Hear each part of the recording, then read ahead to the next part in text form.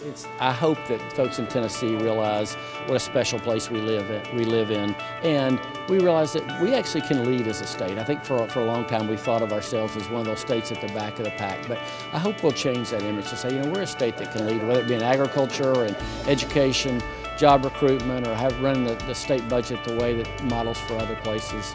I hope Tennesseans will, will grab onto that.